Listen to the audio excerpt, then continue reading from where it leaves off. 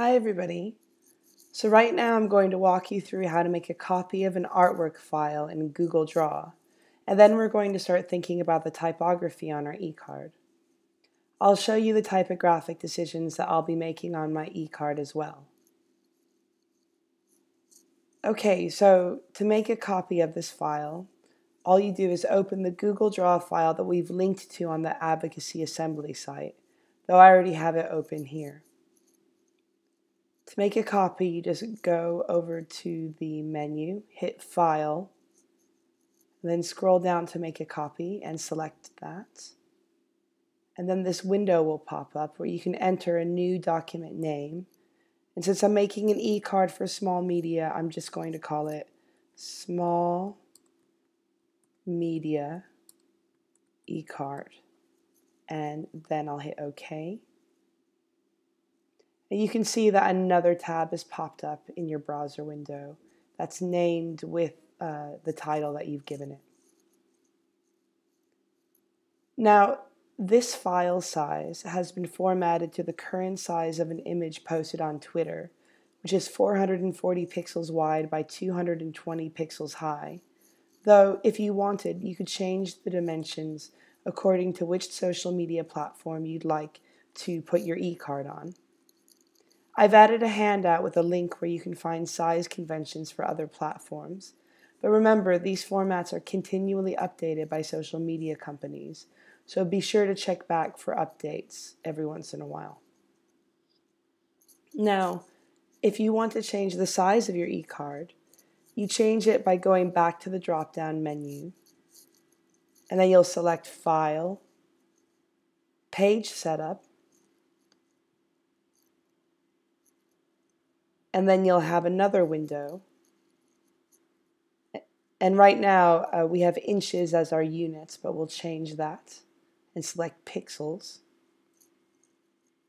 And then here you can enter in the appropriate pixel dimensions and then select OK.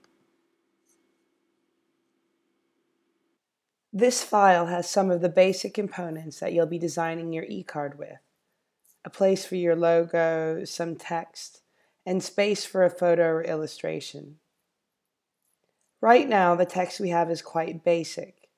You'll be replacing this text with content suited to your organization, so think about what you would like your e-card to say and write down the text that you would like to use for your heading, your subheading, and your call to action. By double-clicking your mouse on these three text boxes, you'll be able to select the text box and type in the text that you would like on your e-card. So do that now. Don't worry if your text doesn't fit in the space provided. I'll show you how to fix that in a bit. So, since my e-card is to promote Small Media's Revolution Decoded report, I've decided to use the full title of the report here as I think there's enough information found in the report title to get people on Twitter interested. So for this, Revolution Decoded will be my main heading. I'll add that now.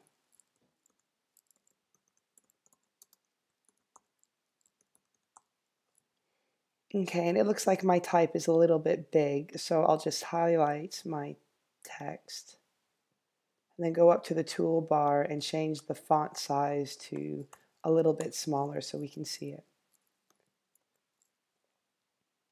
Now for the subheading, I'll put the subtitle of the report, Iran's Digital Media Landscape.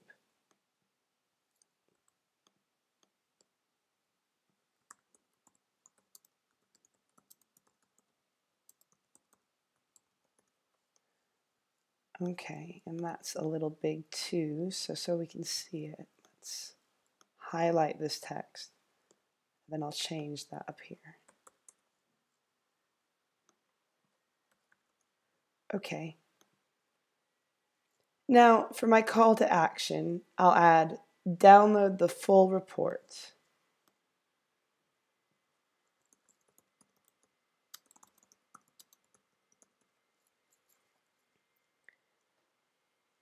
And I just put this here um, to compel my audience to download and read the report themselves. Now that you've added in your text content, let's change the typeface to suit the content and your organization. Right now, all of the words are set in Arial, a basic typeface. So if you just click on it, click on the text, a toolbar will pop up and you'll see Arial as the name of the typeface right there. So you do have the option to change this, of course.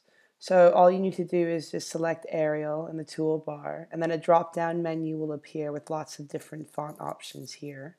Though if you want to see more, you just scroll down to the bottom and select more fonts for more options. So while you're choosing your typeface, just ask yourself, what typeface do you think would best communicate your selected message? What typeface will suit the tone and feeling of your organization's brand? Once you've made a decision, just change all three lines of text in the text boxes to this typeface. For my e-card, my typographic decisions are relatively straightforward as they've already been decided for me. I'm going to use the typographic decisions made in the report's website design and use these typefaces in my e-card. I find that extending design decisions across multiple formats is an easy way of creating consistency across brand communications. So since the typeface on the website is PT Sans, that's what I'm going to use in my e-card. So to change my typeface here, I'll just select all of the text boxes, then go up to the toolbar, click on the, the type name, and then on the drop-down menu, select PT Sans. And so now that I've changed that, I also have noticed that the type on the website is all caps and it's bold. I like this bold all caps typeface because I think it makes an impact on the screen. And I think it's a good way to ensure that when people see my e-card, they'll take notice. So I'll take this type style and I'll apply it to my e-card as well. Now Google doesn't have an easy way of converting text to all caps, so I'll just type it in now.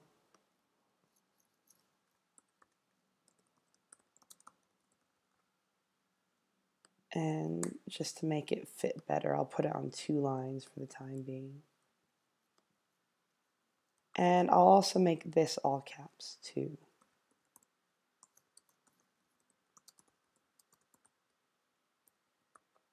And to make that fit better, I'll just put that on two lines. And there you have it for this lesson. Now on to the next one.